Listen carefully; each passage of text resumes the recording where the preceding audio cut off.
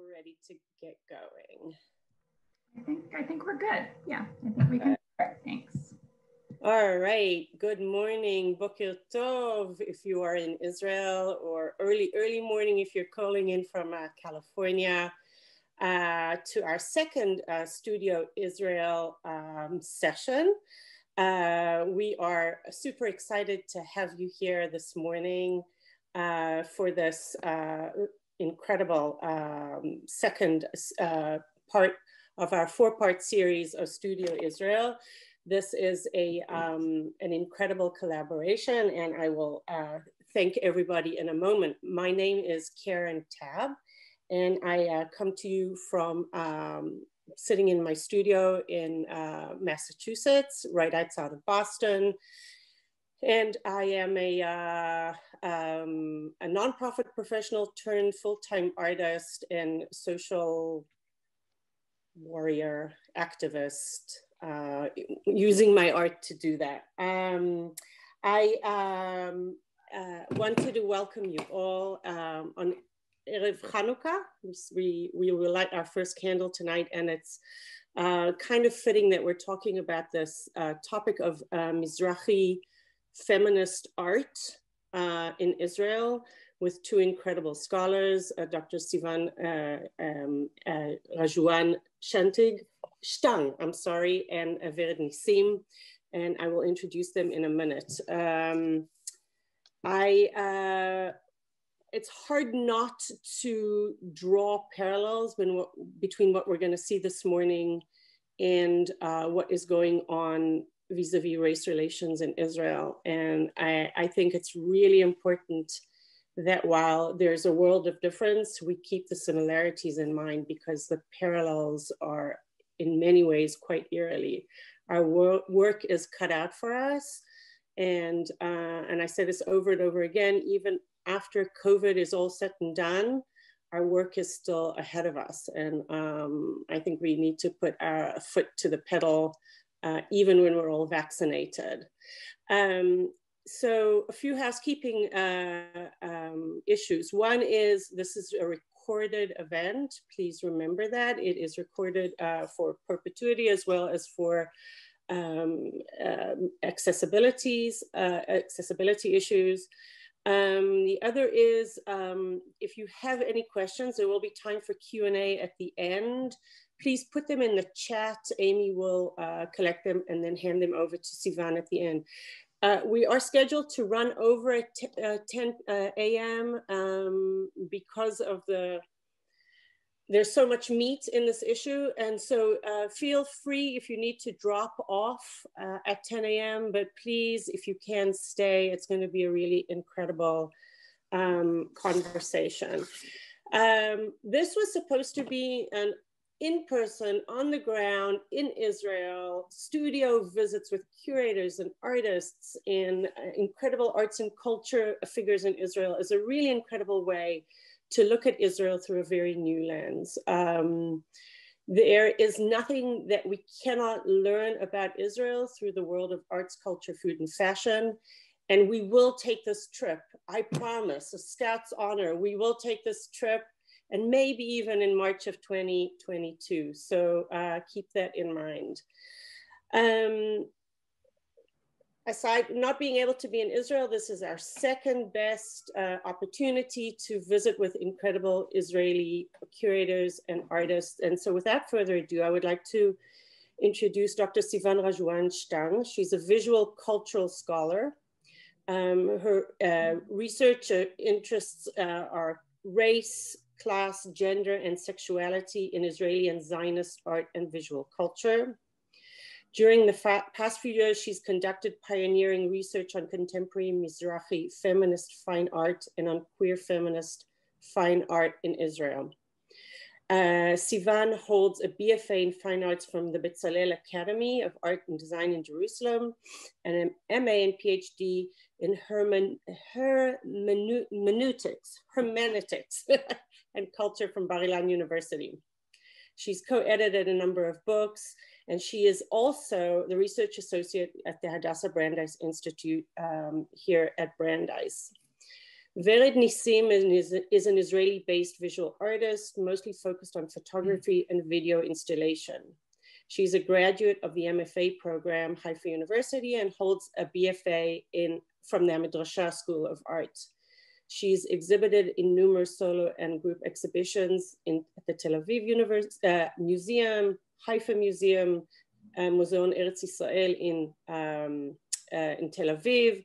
She has received the Israeli Ministry and Culture uh, Award of Excellence for Young Artists and recently is, uh, was awarded the Becky Deckel Award for Feminist Art. Um, before we start, I would like to uh, make a plug and say thank you to the Jewish Arts Collaborative. Laura Mandel is the executive director right here. The Hadassah Brandeis Institute, uh, Lisa, Lisa Fishbayn, Amy uh, Powell, and Nancy Leonard, the Schusterman Center for Israel Studies at Brandeis, Shayna Weiss, and a very special thank you to CJP, to Sophie Kranzman, um, who, is, who has made this uh, series possible. So without further ado, uh, Sivan, bivakasha. I, I will serve as translator, so double role here. Hey, hello, everyone. I'm uh, very, very excited to be here and to talk about uh, our issue. Uh, I want to thank everyone, uh, but uh, I also have to start. so I'll start. I'll do um, a share screen and um, uh, put my uh, presentation. Wait, uh, is it going to, oh, okay. So that's okay? Yes. Okay, so I'm, um, I'm, I'm going to give a, a paper about, um, you, you see about what uh, in, in a minute. And uh, afterwards, I, I will interview Vered uh, shortly, and then people can ask questions and we can uh, discuss uh, our issue. So my paper today is a part of a wider research, and I call it The Empire Shoots Back, Mizrahi Feminist video, video, Art and Photography. Um, and our, my my presentation today is going to be, is called uh, Every Once in a While, I'm attacked by a flying rug, uh, cleanliness and dirt in Mizrahi feminist video art and photography. So um, I'll start, right? uh, every once in a while, I'm attacked by a flying rug, writes Mizrahi poet Yonit Naaman in an essay in which she expresses her, her anxiety about the violence of the role that Zionism designated to Mizrahi women for over 100 years, cleaning work. A third generation of women cleaning workers, Naaman writes of herself, our grandmother, her hands would work by themselves, squeezing the rug and dipping it in a bucket over and over. In her writing, Naaman testifies to the social, mental, and emotional injustice inflicted on her as a Mizrahi woman living under the threat of an inher inheritance addressed to her against her will, but she also expresses immunity and strength that dismantles the racial labeling that troubles her. Naaman's writing and the visual artworks I'll discuss today present an intense confrontation with what Mizrahi anthropo anthropologist Pnina Motzafi-Haller called the issue of the intergenerational reproduction of status and the ability to imagine a future beyond it and beyond the social limitations that constructed it. At the heart of our discussion then is the visualization of a charged mental space unfolding between Mizrahi women, mothers and daughters, in which they both process the racial labeling and face the possibilities of internalizing, transferring, and dismantling it.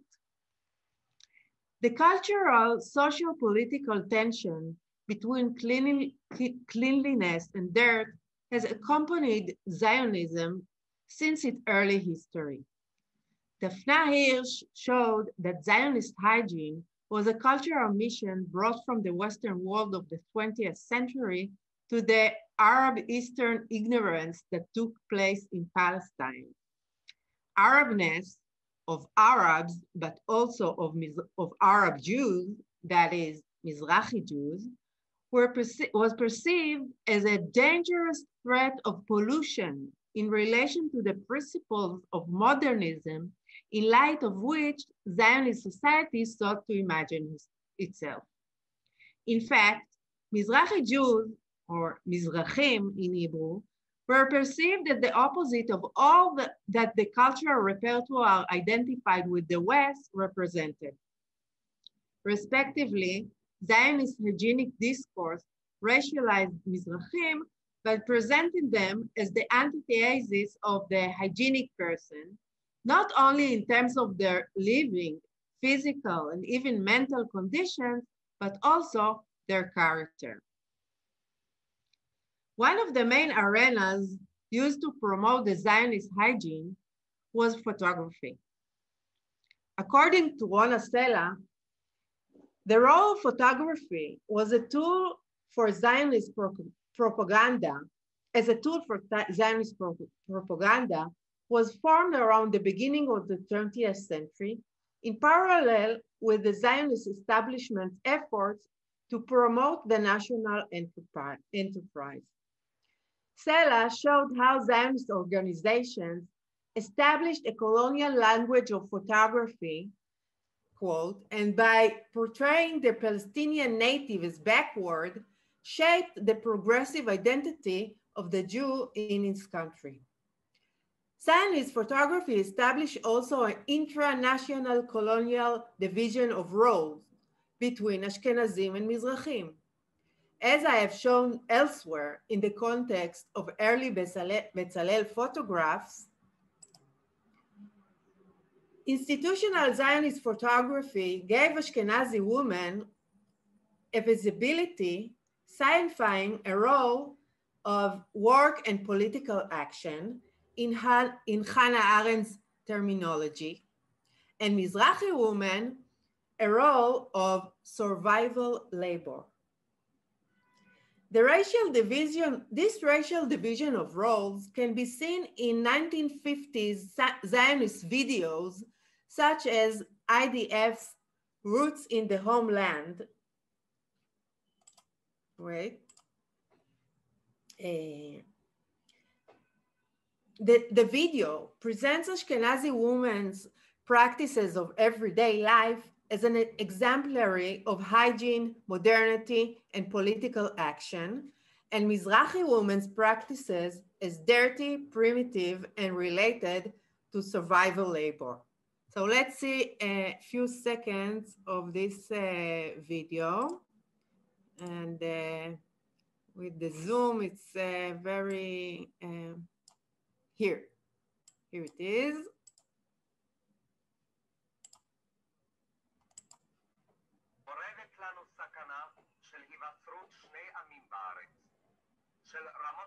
Can you hear?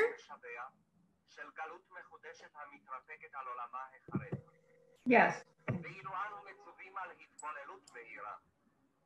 עלינו להראות בארץ את החדשים מקרוב באו במשך זמן קצר ביותר, למען נוכל לעמוד בסכנות הקרובות כאומה ולא כצירוף של עדות או שבטים. זהו עם מדינת ישראל, ואנו עלולים להתבולל בתוכו, אם לא נבולל לו בתוכנו. לשם כך יושבים חיילי הגדנ"ע על התורה ועל העבודה ומתכוננים למעשה הרב, למבצע ההתערות לנוער במעברות. מטרתה החינוכית של ההתערות היא להקנות לנוער המעברות המתרכז בבסיסי הגדנ"ע במחזורים חודשיים מושגים וערכים יסודיים של ההווה הישראלי.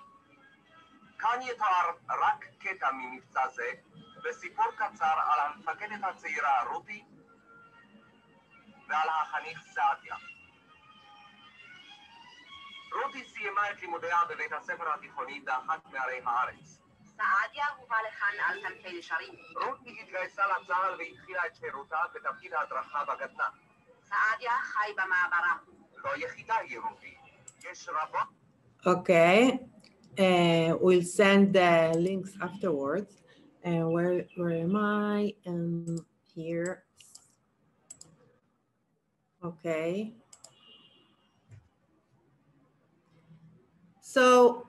Zionist hygiene's racial hierarchy between Jewish women was demonstrated also by Noah Chazan, who examined all photographs produced for the Hadassah organization in its early days.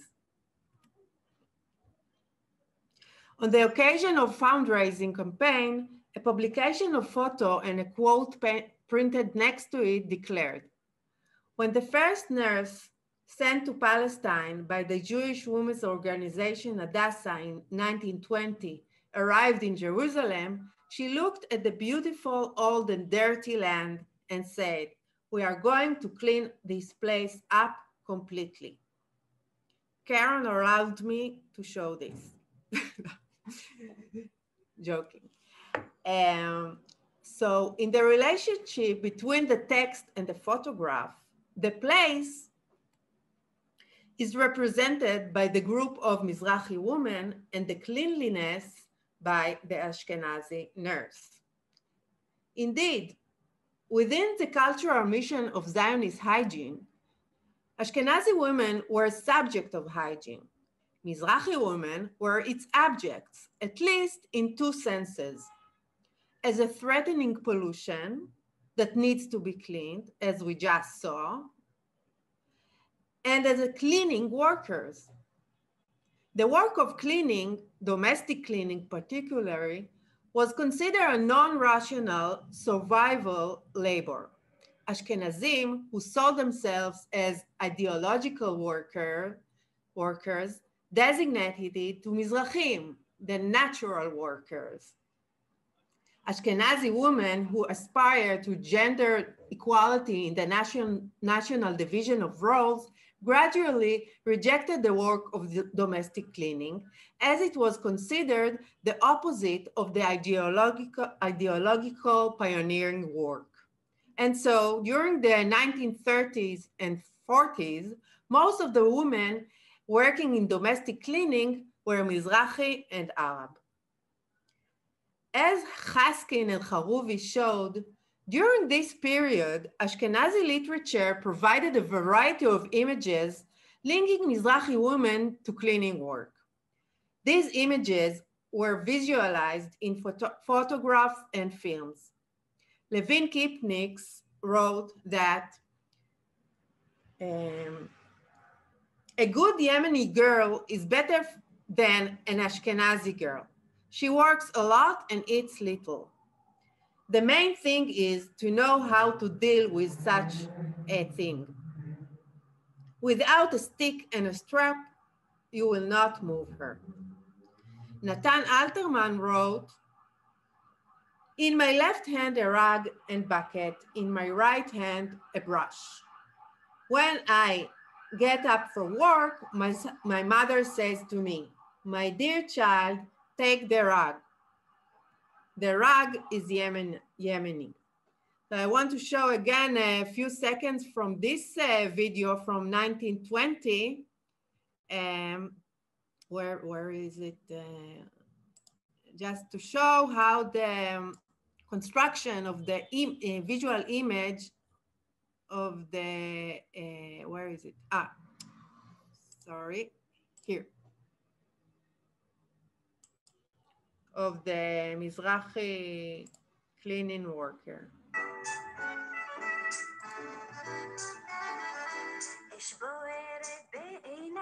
בגופי צמרמורת, אל תראוני רבותיי, שאני שחרחורת, מליע עלות אכן וינות וברלינים, אצלהם טמפרמנט ואצלי חמסינים, בשמאל אסחבה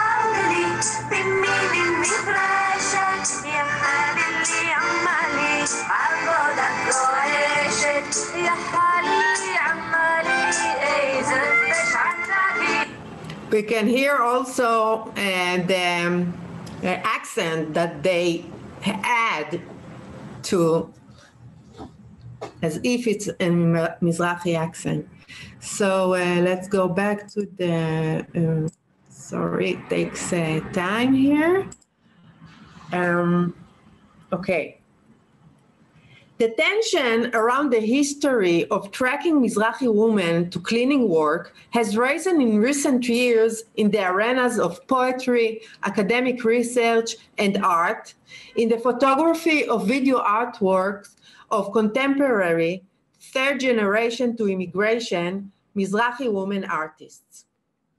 These artists operate within the tradition of feminist body art but unlike Ashkenazi women artists such as Sigalit Landau or Yocheved Weinfeld, who applied this artistic tradition in a way that left the racial aspects of their identity transparent, Mizrahi women artists focus on it and place it within the social, cultural, and political context of their work.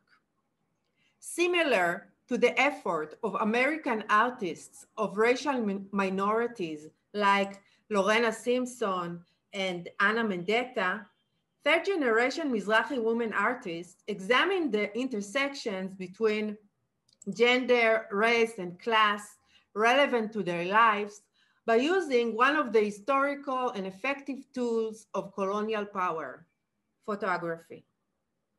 How then do Mizrahi women artists position themselves in relation to the Zionist hegemonic photography? How do they, they construct the racialized image, image designed for them over the course of the history of Zionist photography? And how do they cope with the threatening inher inheritance of cleaning work designated to them by Zionism? From my point of view, uh, Mizrahi women artists invite us to an event of photography. That is, they take the position of the photographer and object of the photograph. I take the position of the viewer who mediate the meaning of the photographs. And together we form a new political structure, a Mizrahi feminist one, which allows us to appear as authors and agents of our own visibility and narrative. Pioneer third generation Mizrahi feminist artist Daphna Shalom's series of photographs here thinks first raised the subject of Mizrahi women and cleaning work. Shalom took the photos when she came from New York to visit her mother's house in Tel Aviv. Shalom broke new ground for Mizrahi artists in many ways.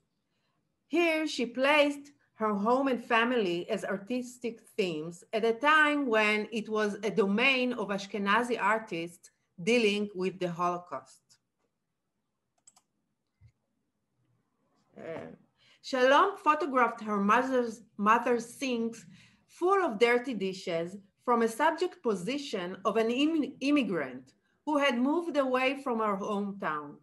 This position allowed her to delay the acceptance of the inheritance awaiting her in the sink. So instead of washing the dishes, she is observing them, getting ready to replace the labor of cleaning with an action of photography. Using photography, Shalom makes the private space, space public, politicizing the whole scene from the perspective of a feminist Mizrahi woman subject. The role, the role of Mizrahi women as cleaning worker stands at the center of Vered Nissim's early work. In her, in the video, if I tell my, my life story, tears come out of my eyes, Nissim is seen sta standing on a ladder, wearing a, a white dress, holding a green plastic funnel, and her mother, estelle who appears in her daughter's work regularly, at her feet. So let's let's watch um, a part of the where is it? where, where, where, where is uh, a part of the video. Wait, oh eh, my God, here.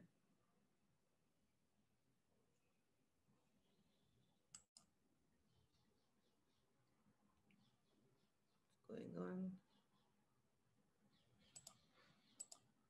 Oh,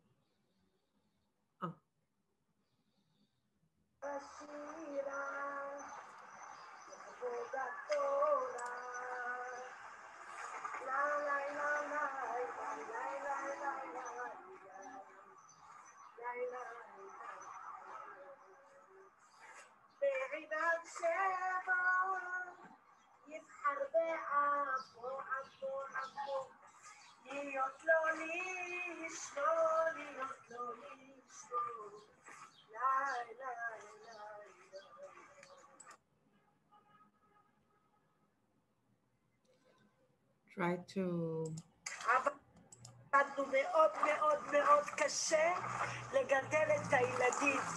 למה? אם לא היינו נותנים להם השכלה, הם היו נתקעים בעולם, בעולם הזה. אין, אין מי שיקדם אותם. רק הורים צריכים לקדם את הילדים שלהם. אף אחד לא, לא ייקח מהם שהם, שהם, שהם יתקדמו בחיים. So we don't have so much time, so I'm going to uh, move on. And Nissim mother leans on the sidewalk, also wearing a white dress, but one made of old-fashioned sponge rugs. She scrubs a, a carpet of yellow cleaning gloves and talks about the difficulties of her life in Israel, the hard work of cleaning, the desire to give education to her ch- children, and the sacrifice of her life for them as her body moves between crying, dancing, and singing.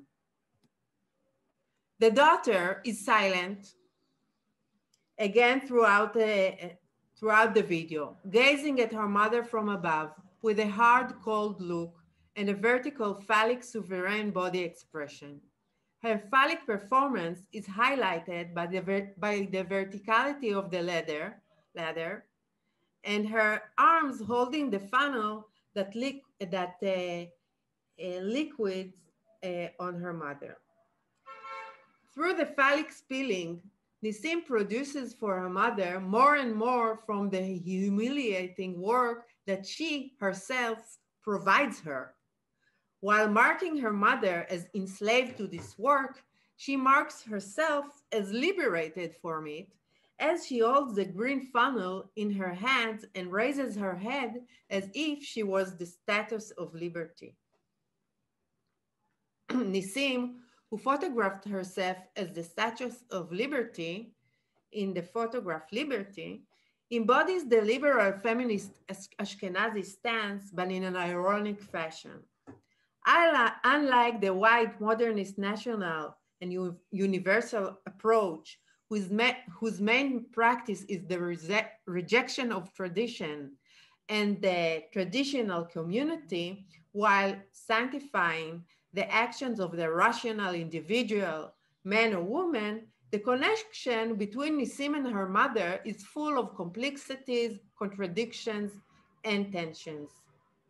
When Nissim punishes her mother for the inheritance she delivered her, but builds more and more stages for the, the delivery process, and when she seeks to put a limit to her world flowed with her mother pain, but hardly separate from her, from her, she actually denies the dichotomous imperative to part with her mother and from her world or assimilate within it.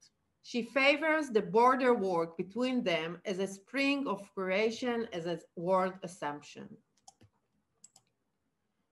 The dynamic between Nissim and her mother, in the dynamic, liberation is not necessarily outside the private space and beyond the work of cleaning. Liberation takes place when the racial gaze is, is replaced by a gaze that neutralizes it while shifting the situation of cleaning from the sphere of labor, of surviving in daily life, to the political sphere, as Nissim's art is rooted uh, within the political tradition of feminist body art. And with this, new, within this new space, the work of cleaning becomes a work of art and a political action. The other role of Mizrahi women as a threatening pollution that needs to be cleaned occupied Tamar Nissim in her video, Braided, that was presented as a part of an exhibition that dealt with the Zionist hygiene project from an autobiographical Mizrahi perspective. The video showed the artist's young daughter braiding her hair, while her mother's voiceover tells of her Bukharian grandmother who coped with Zionist hygiene dictates. So I'll show, show, I'll show a few seconds from the video and braided.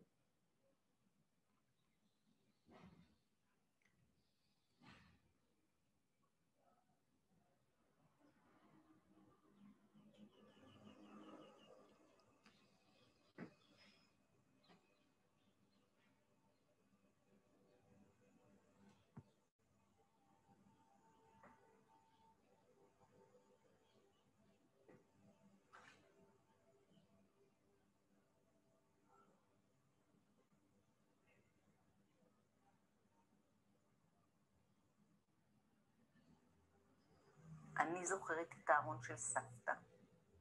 חולצות תחרה שוויצרית לבנות וצברוני תחרה, ריח של בושם בארונות וניקיון עצמית. מה עבר אלייך מזה? איך ייראה הבית שלך?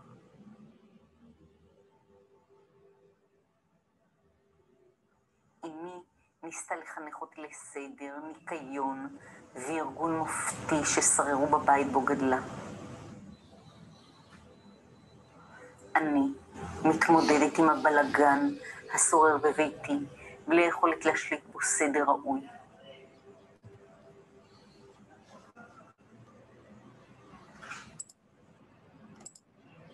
Where is my presentation? Oh.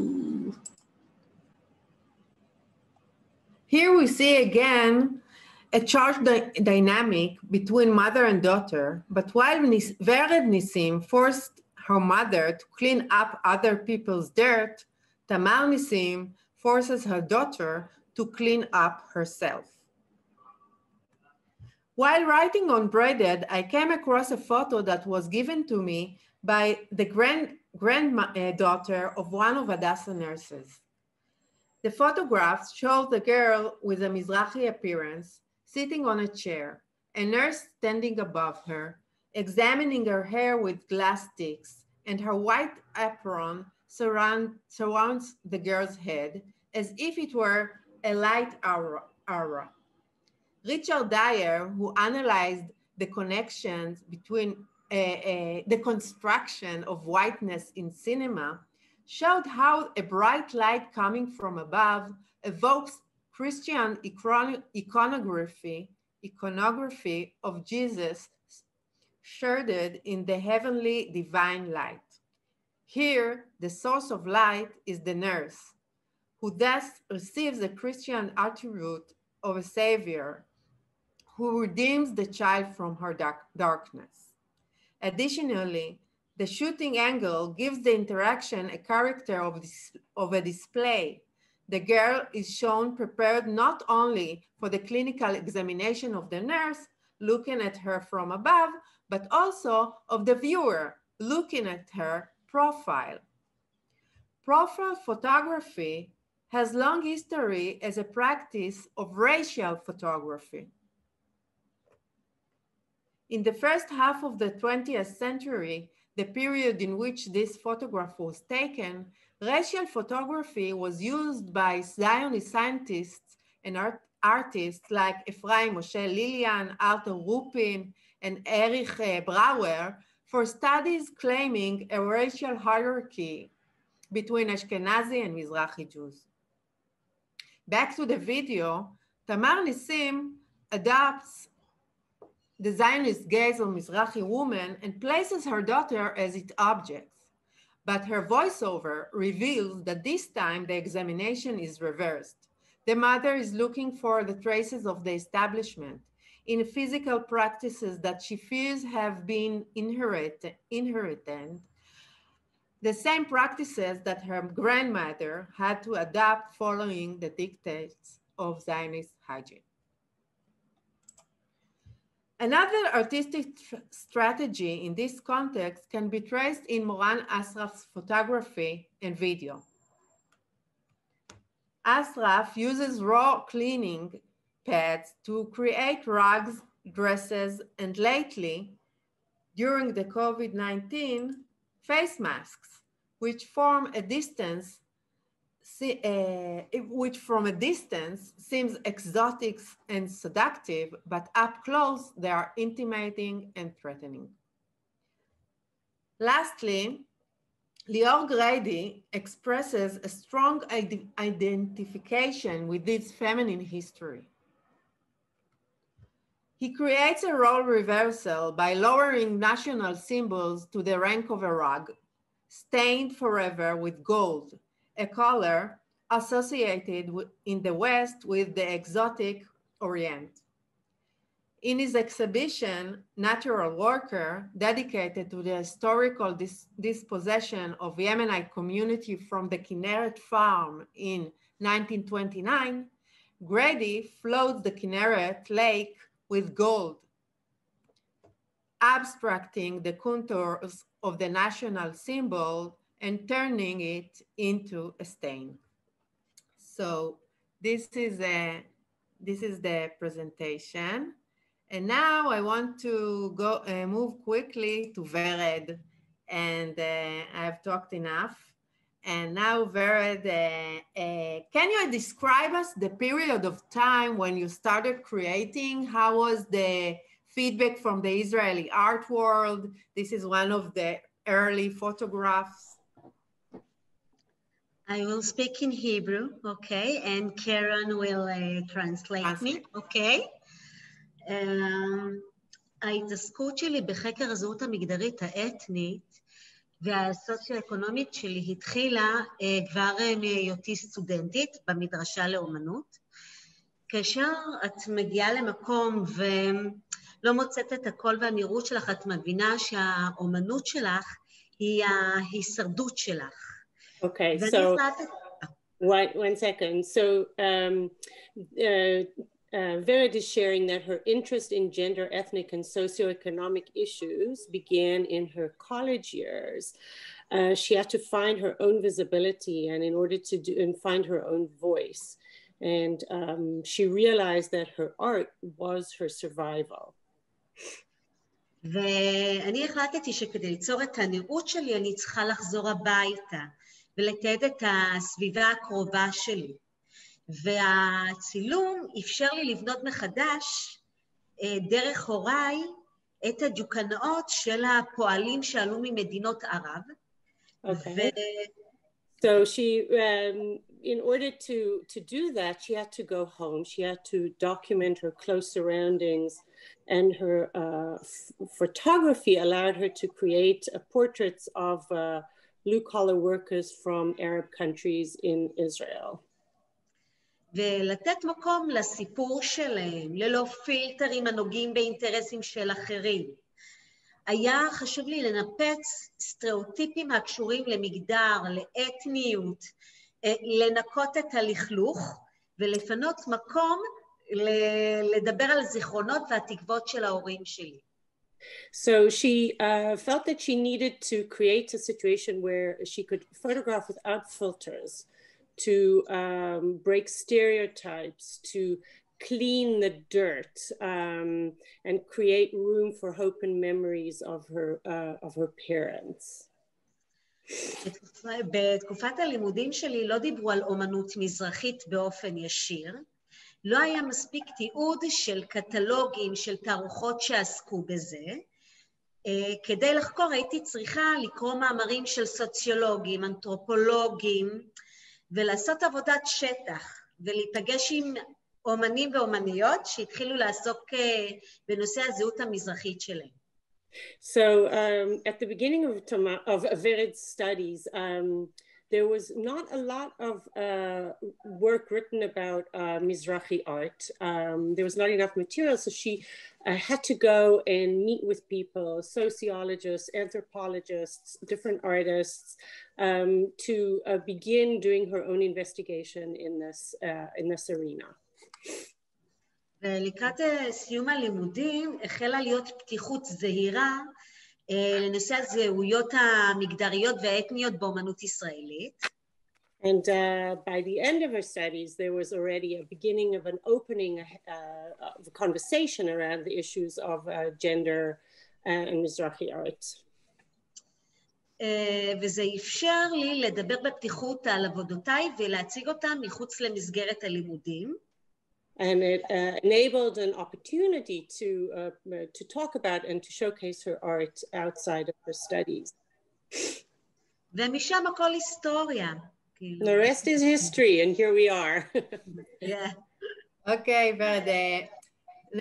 Your parents immigrated to Israel from Iraq. your father worked as a car uh, tinsmith, and your mother as a cleaning worker. And in your, your videos, uh, which testify a deep and symbiotic connection between you, you are usually silent and uh, they talk, as in this video, a desert with, uh, within a town. Can you elaborate about this or explain? אוקיי. Okay. במקביל לשיח שמתחיל להתנהל בעולם האומנות, בזירת השירה קמה קבוצה שהיא נקראת ארס פואטיקה. שהם in, uh, in parallel to the conversation in the literary world, the poetry literary world, uh, there was a group a forum that was called Ars Poetica. So uh, this is my, uh, Ars is a kind of like a slang word on the, um, a degrading word for Mizrahi. So Ars Poetica. Mm-hmm. ולמחות על האפליה האתנית שהתנהלה בעולם הספרות, בעולם הספרותי. So they um, uh, they decided not to be silent and to fight back against the um, the degrading or the mistreatment of Mizrahi uh, voices in poetry and literature. אני בחרתי במהלך הפוך. שבו במקום לדבר בשם ההורים שלי, אני הבמה שלהם. זאת שעומדת מאחורי המצלמה, הצינור שמעביר את המסר מעדות הראשונה. And so I decided to go um, to do the opposite. Um, I uh, was going to be, instead of being uh, the voice for my parents, I was going to offer them the stage and be their, uh, the director of their own voices. I let them tell their stories while I stood behind the camera. אפשרתי להוריי לשחק את עצמם, והשתיקה שלי דרבנה אותם לדבר, לשתף ולהאיר את השוליים החברתיים מבפנים. So uh, my silence enabled them to speak. In fact, it uh, encouraged them to speak and to talk about the periphery of the of uh, of the social the social periphery in which they they lived. So my silence gave them more power to do so. Okay. Um, there are two re recurring recurring uh, themes in your work: cleanliness and uh, or cleaning work and marriage, and they are often uh, intertwined, uh, as in the video we just saw, and in the um, uh, Venus gaze uh, photographs in which you, you and your mother wear wedding dresses made of white rugs, or in the white carpet racket intertwined with flowers um, that reminiscent uh, bridal bouquet. And the climax is this video uh, called uh, Dying to Dance at Your Wedding, where your parents uh, celebrate your wedding, uh, but you uh, you don't you do not attend your own wedding. So maybe you can tell us something about it. Okay.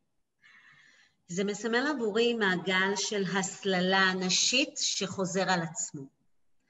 אח, this, okay, this, this for me symbolizes the tracking of women, um, that repeats itself.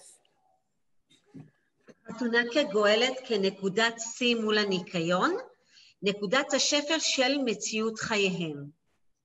So the, the wedding or the marriage is considered as the savior as opposed to the dirt, which is the low point event of their lives. אני משתמשת בצ- ביצירותיי בחומרי ניקיון, והופכת אותם לגרנדיוזים במטרה להעצים את הפער של בין חלום למציאות. So uh, uh, I use a lot of cleaning materials in my work. Uh, I give them a grandiose, a personification, uh, kind of to expand the realm between fiction and reality. כאילו אני ממתינה בנקודת זמן ספציפית, רגע לפני חצות הלילה, הרגע של בין גאולה לשפל, שבין אה, אדונית למשרתת. I uh, find myself uh, waiting at that moment of midnight, just between um, the uh, the moment of loss and redemption, or the master and slave uh, in this case.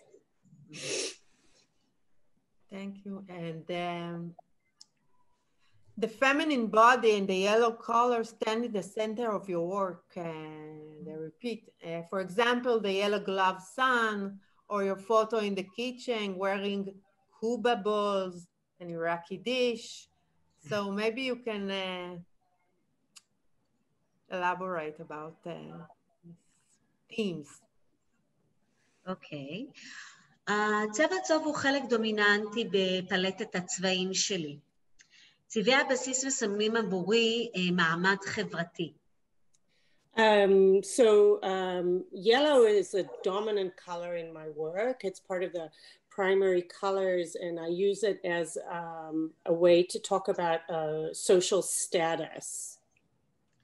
לדוגמה, הצבע הלבן אה, מסמל מעמד אה, הצווארון הלבן, ומנגד הכחול את מעמד הפועלים, למשל החלוק שאימי לובשת.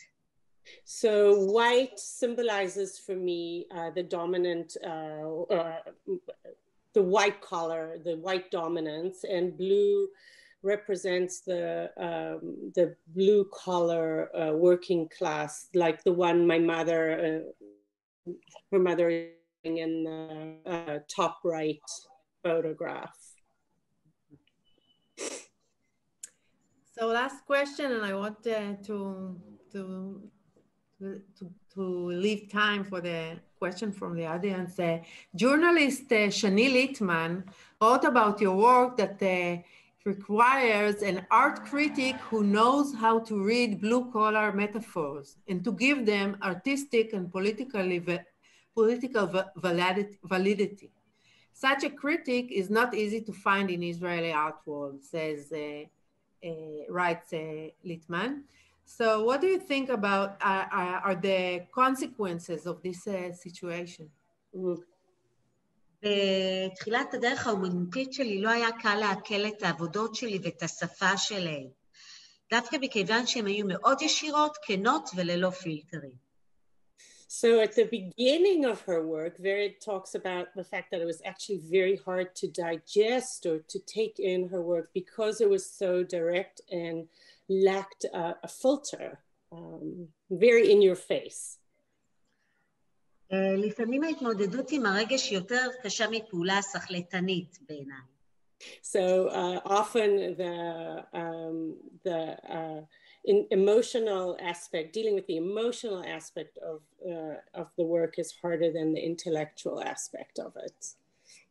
ההשלכות אה, של זה יכולות להיות אה, השטחת המסר שאני מנסה להעביר, וכך יכולים לראות אותן כלא רלוונטיות. Um, the implications of that can be the the flattening of the message uh, that sh- that Verd is trying to convey, and um, it it can appear as non-relevant. אבל ההתמדה שלי לשמור על השפה שלי והאמת שלי בסוף השתלמה. כי הזמן אפשר בסופו של דבר להבין את המהלכים שלי ואת הייחודיות שלי בתוך שדה האומנות. So, uh, but the perseverance uh, to keep pushing the issue and the message and using this language and keeping alive as, as paid off because it uh, it has allowed me it's allowed Vered to uh, to occupy this very unique space in the art world. ועד היום חשוב לי ליצור גשר בין עולם האומנות לאנשים שחשוב לי לתת להם את הנראות בעבודותיי. Mm.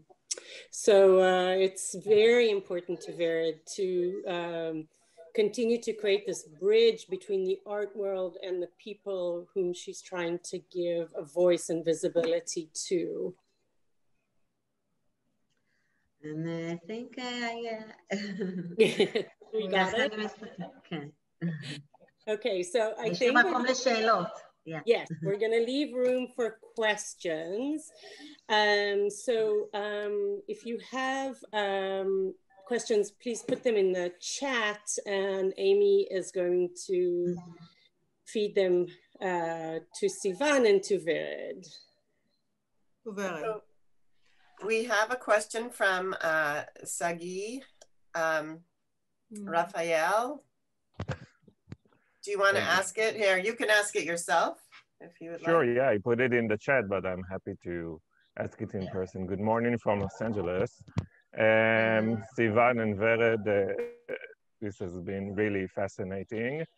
Um, my question is about Shula Keshet and uh, Achoti movement that was uh, founded in a, about 15 years ago, and I think that it was around the same time that Vered was in art school. Um, do you, Vered, or do you, Sivan, see uh, your work in relation to Achoti movement? You want I, uh, I, I answer him? It's okay if I answer in Hebrew and you translate me? Better yes. אני, בתקופה שלי, שנתחלתי ליצור, תחשוב שה... שהאינטרנט, עדיין כל הדברים האלה לא היו מפותחים. זאת אומרת שאני אמרתי שאני יצאתי לעבוד בשטח ולפגוש אומניות שמתעסקים בזה, זה פיזית היה. פיזית היה לחפש אותם ברשימת הטלפונים ולהיפגש איתם. So at the beginning of Vered's work, and and maybe uh, Sivan, you can tell something about the Achoti movement, because uh, just so that we put this in context, uh, at the beginning of, Vered's work, um, there, there there was no uh, there was there was no directory, there was no uh, the work didn't exist, and she had to go out physically and look in the phone book and uh, contact people by phone and actually go and do the legwork to meet people who were uh, talking and working in this uh, in this uh, subject. um, Achoti movement is um, uh, was founded by a few feminist Mizrahi activists, scholars, artists and uh, the goal was uh, to promote to, and to, to, to build a language for, uh, for uh, Mizrahi feminism and to promote Mizrahi women. And, and Shula Keshet is one of the main figures in the movement. She's also an artist and a politician today and, um, and um, many other things she's doing. We have a question from uh, Tutor 102. Someone labeled that. Would you like to ask it yourself? Oh, hi. Sorry, I was, I, I guess I'm on my work uh, Zoom account. My name is Moore. um, thank you, um, Sivan and Vered. I was just curious about uh, how was it to work with your parents like this? Uh, it looks, mm. it, it, so, so many of the scenes um, it looks like you've been going through such intimate, and vulnerable, and fragile, um, you know, confessions and um, and performance. So I was wondering how mm-hmm. was it to to to do that? אוקיי. Okay. קרון, את יכולה לדייק לי אותה? אני הבנתי, אבל אני רוצה להבין אותה קצת יותר להם, לעומק. אה, היא שואלת אה, איך זה היה לעבוד עם ההורים שלך, זה נראה מאוד אה, אינטימי ומאוד אה, אה, רגשי, ואולי שברירי אפילו, איך זה היה, כן, שברירי, איך, איך זה היה לעבוד עם, עם ההורים שלך. לפני שאני התחלתי לעשות, לביים אותם ביצירות שלי, אני במשך שמונה שנים צילמתי אותם. זאת אומרת שאני בניתי בהדרגה את המערכת יחסים שלי איתם אה, מול המצלמה. ו... ויש רגעים שהם... אה, ואני יושבת ואני מסבירה להם גם לפני כן. Okay, so one second before I forget. Um, so I, I spent many hours uh, working with my parents and talking to them before the, uh, the uh, photography shoots, preparing them and talking to them about what it is that I uh, am hoping to achieve. ובעצם דרך הדיאלוג אנחנו מתחילים בעצם ליצור את העבודה. So through the dialogue, um, uh, oh, my video is off, sorry. Uh, through the dialogue, we, uh, we, we start to create the work. We have a question from uh, Susan Metrican, HBI's uh, Curator of the Arts. Hi, good, good morning or good evening, Sivan and Vered. Thank you so much for sharing. Um, Vered, I have a I wonder um, if you could elaborate on some of the art historical references that have inspired your work and how you see the relationship to those references and your work now, if it's primarily critique or I do sense um, in your work a, a sense of humor and play. And I wonder if, if it works between critique and playfulness or something else. את, את נקודות ההתייחסות ההיסטוריות לחומר הכתוב ושיש הרבה הומור ואם יש, אם מוצאת הרבה הומור בעבודה שלך. כן, הומור זה, זה חלק מההישרדות שלי, זאת אומרת, נורא חשוב לי שגם אם אני מעבירה מסרים שהם לא קלים, זה שיהיה להם גם את המקום של השמחה, של הצחוק, ולגבי ה... אוקיי. Hold on. So it's really important to me that through, even though I'm, I'm talking about very difficult subject matter, that I always find the joy, the humor, the, the fun in the difficult subject matter. ולגבי הרפרנסים שלי זה... אלה דברים שאני כל הזמן מלקטת, אם זה מתחום השירה, שזה ויקי שירן, עכשיו קצת התחלתי לחקור את ברכה סרי, זה על ידי וידאוים שראיתי של רונית אלקבץ. Okay, hold on. the, a lot of my uh, my references come from poetry and literature, like um, from Bracha Seri and Ronit Al-Kabet's videos.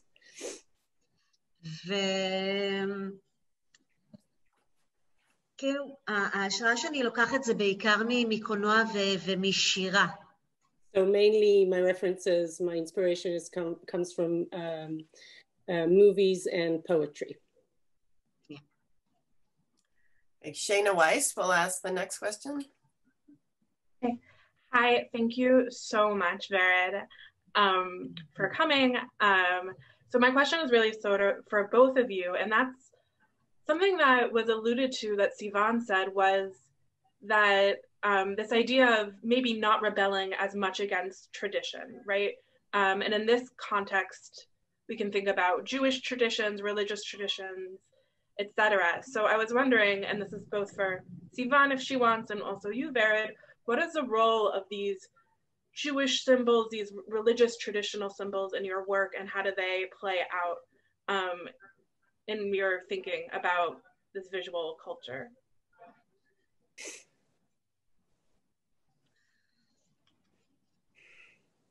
You want me to? And you want to start? Okay, so I can say something. Um, in generally in uh, Mizrahi artists, not only the women artists, like uh, uh, for instance in Lior Grady's work, uh, uh, there are um, there is uh, there are many uh, symbols of uh, Jewish symbols and references to Jewish world, and um, I think of it um, as um, and, and, and everything is in the context of the national uh, enterprise of the or uh, Zionist history and Israel is uh, the history of Israel.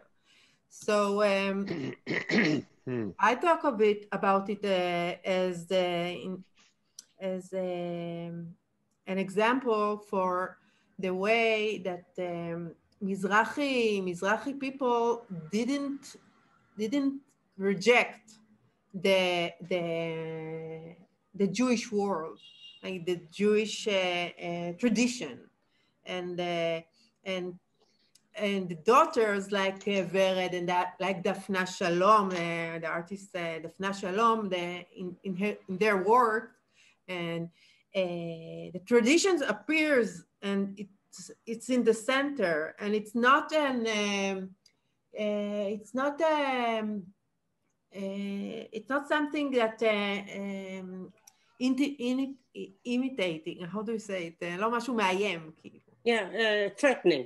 Threatening. It's not like Zionism put had treated the the tradition and the religious the religious people as a threat to the Zionist project, which mm. was uh, or is uh, very um, uh, atheist in ways, in many ways. Ah, difficult for me to speak in English. Uh, Robert uh, Pavone will ask the next yeah. question. Vered, do you have something that you wanted to add to that? Oh, I'm sorry. I think she um, say, eh, um, הוצאה מילים, את המילים מפי. Yeah, took the words out of your mouth. Yeah. Uh, I apologize since these extreme caste differences were not known to me as an American Jew, this, that, that extreme but the skewed historic representations were obviously skewed to exaggerate and protect the status quo. But mm-hmm. these conditions existed and while misused, were they not in themselves a story of poverty and unacceptable conditions that their fellow citizens could also rally against, those who were uh, sympathetic? I know that in the displacement camps after the war, the um, North African Jews were treated very differently in the displacement camps in Europe. So there's another example how they were treated differently. Mm. Uh, I, didn't quite understand the, the question. Caron, you can. Uh, Caron. Yeah, I'm not sure. Can you? Would you want to rephrase the question itself? I can send it to you. Yeah. Uh, no one's understanding it. Okay. No, I'm just, I'm, I'm, I'm, I guess what I'm saying is that I understand that um, the way these were misrepresented in their extreme uh, actually helped cement a, bit, a poor image of mm-hmm. Mizrahi Jews. They were cl- clearly bigoted, if that's the right word here. But I also would think there were Jews and there were Israelis who would like, like we have in the United States when we see poverty and, and mistreatment of other citizens, it became instead a rallying point to say, no, these people are not being treated well. It, it, couldn't have been that black and white. Wouldn't it have been also a rallying point instead, historically? Hmm. Am I still not being clear? So are you talking about the, the visual references? That I'm not talking about the current art. I'm talking about the, the examples the of, of the examples, historic examples of how they were exaggerated to mm-hmm. cement their positions mm-hmm. their lower positions instead of, and I'm wondering why there weren't people rallying. There were, weren't also other people saying this is not right. Just mm-hmm. like we res- we try to respond, at least I do, to poverty in the United States, or mm-hmm. years ago to the way blacks were treated. A lot of people, instead of just say, "Oh, this is the way they are," actually respond in a in a positive way. Mm-hmm. Mm-hmm. Uh, I mean, meaning in, in a way where uh, we try to say, no, this should not stand. Mm. So, uh, uh, throwing probably the Black Panthers in Israel were a response to that. So, אני רגע אתרגם מה שאני חושבת שהוא מתכוון להגיד. אני חושבת שמה שהוא אומר זה שהשימוש בצילומים, בעדויות המצולמות האלה, זה היה גם בעצם קריאה להתקוממות וזאת התגובה ש... yes, and, ובאמת everybody was in survival mode, so האם, מה קרה, למה לא הייתה התקוממות כנגד הצילומים האלה? אה, אוקיי. Actually, you you you mean only you mean only the the visual to the visual sphere to the visual representations or in general uh, I'm talking about the visual representations that you started the presentation with to show yeah. how they were misused against Mizrahi Jews, that they were misrepresenting them as extreme only in one way and not other parts of their lives. They were further uh, cemented into a caste. Yep. And I'm asking why these, instead, this could be have been um, uh, news of, or for lack of a better word, documentary of how um, these conditions existed and uh, and they they would be seen as unacceptable mm-hmm. to other Israelis. Like these people shouldn't live this way or be treated this way. I'm sure the mm-hmm. entire nation didn't feel that way. There had to be people who said, "No, this is not the way it should mm-hmm. be." And I, am sorry if it's too if it's either a naive question or too difficult. Um, no, it, it just seems like that's the way people sh- some people could have responded, which is yeah. that this is this is baloney. This isn't t- totally true. My neighbor is not like that, and she's Mizrahi. Hmm. Shayna Weiss has uh, some, some historical perspective on this. Yeah. Shayna? Oh, you're muted though, Shayna. Uh, I can say something about this. Um, I think as for the res- uh, uh, for the resistance uh, regarding to visual representations, you, you did you did talk about this, right? Mm-hmm. Um, so we, I think we have to to remember that it was it's the beginning of the 20th century, or I'm talking about the first half of the 20th century. It's time when we we don't there's there there's no access uh, you can't you can't see you, can, you couldn't see so much. The the photos and the images and the and the vi- uh, videos of films. Uh, only few people could see them. And also some of the photos were sent were uh, was sent abroad uh, the, uh, to in in uh, in different campaigns um uh, for different campaigns. So I don't know if the if people had the uh, access to to see and to um, and to think if it's if it's uh, wrong or, or or right for them, and um, yeah. So I just want to pipe in as a historian um, and add that. So first of all, from the very first, honestly, days and weeks of Mizrahi immigration to Israel, there was organization among Mizrahi immigrants themselves to get better conditions, to fight for themselves, to be in contact with people all over the world. Um, there was more and more research being done on this. There was an idea of Mizrahi Jews as sort of passive and not fighting for themselves. Um, we know that's now actually historically not true. Um, there are books by Bryan Roby, um, Orit Bashkin, who talk about this organizing. Um, we start to see protests, um, especially in the 60s. Um, but even before that, there was protests and organizing to better their conditions. Now, why why this wasn't noticed by the American Jewish world or the larger world, right? That's what You all have already talked about who has access what are the images of israel being portrayed abroad americans don't you know most american jews are ashkenazi so they're not to a lot of extent they're not quote unquote seeing the mizrahi jews right that's a, something that still goes on until today so mm-hmm. like many struggles there was organization from the very beginning and that continued but it didn't, it took a while for the rest of the world to pay attention. I just want to add, this is the other thing I wanted to say, that the organiz organizations and struggles and resistance didn't start in the 50s. Uh, whereas uh, uh, Lior Grady's exhibition, Natural Worker, for example, uh, uh, shows that, uh, I mean, he, he, he, relates to the fact that the, the Yemenite community in the beginning of the 20th century were resisted the situation. And we have many test, testimonies of resistance in relations in relation to the work conditions of Bezalel workers, Mizrahi workers, and uh, in many places.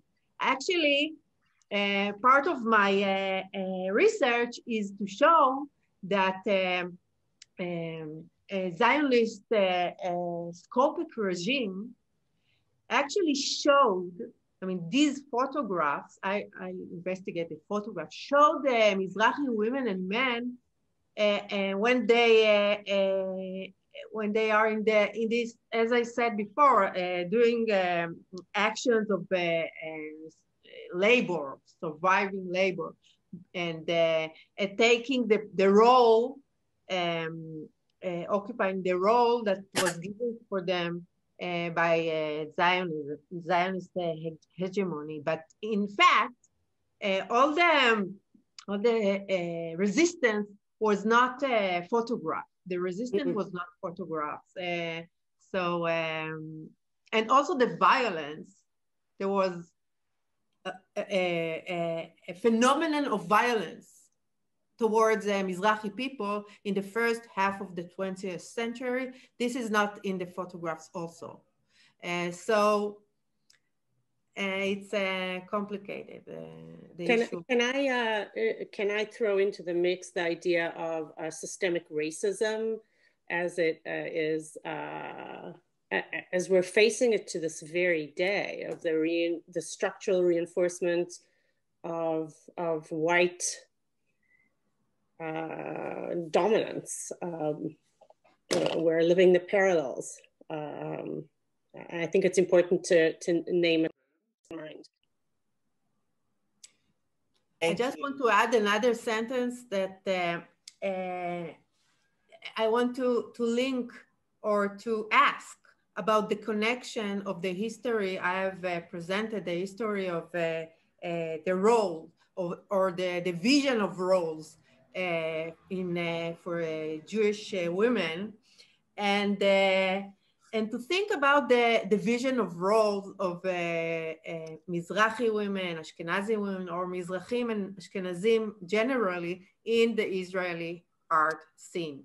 Because uh, as, uh, uh, as we found, we found if, if you check the uh, solo exhibitions in the um, Israel Museum and Tel Aviv Museum, since there was a renovation of both museums, there were no, actually, uh, almost none uh, exhibition, solo exhibitions for Mizrahi artists, and I mean pol uh, political Mizrahi artists that gives them, uh, that bring the, the political uh, challenge to the white dominance of art scene. So uh, this is very rare. This is what I said to, to our to my friends here that invited us.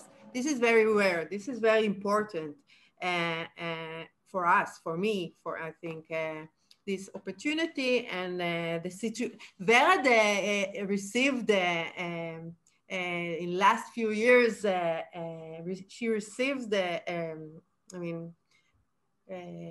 תשומת לב מאוד... כן, של attention, a very good attention, and but but still, where is the solo exhibition in, in Israel Museum? Daphna mm-hmm. Shalom, Vered Nissim, Mizrahi artists uh, that are working 25 years already in the field. And um, we see the same division of roles in every in every field uh, in the Israeli uh, society, every field, and also in this field. So this is a question I think um, is uh, uh, that can be brought, uh, I don't know, we should uh, think about. Uh. So last question to uh, Lisa Fishbayn-Joffe. So I, I'm, uh, I'm really glad that this session is uh, a small contribution to addressing that gap in, uh, in celebrating the work of uh, Mizrahi uh, women artists.